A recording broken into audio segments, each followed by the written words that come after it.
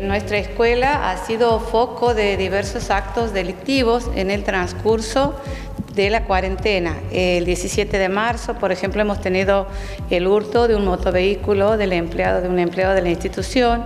El 16 de abril hemos tenido hurtos de ternero y el 14 de mayo ha sido el último robo bien grande de tamañas dimensiones, puesto que eh, está evaluado prácticamente en unos 60 o 70 mil pesos. ¿Cuáles serían los bienes? Entre los bienes eh, se encuentran em, balanzas, palas, hay bolsas de alimento, hay también animales que se han retirado, lechones, conejos, entre hembras reproductores y conejos de recría y también aparejos han sido sustraídos.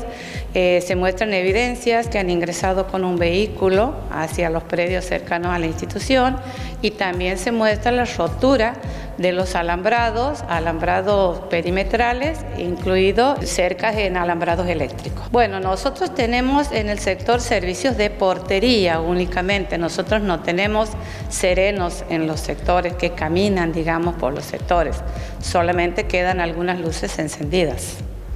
Nosotros no poseemos cámaras ni dispositivos de seguridad, así que no tenemos este conocimiento de quiénes son los que han entrado. Se han hecho las denuncias correspondientes y ya se encuentran en la Fiscalía y en las manos de los jueces los expedientes que siguen el curso de la investigación.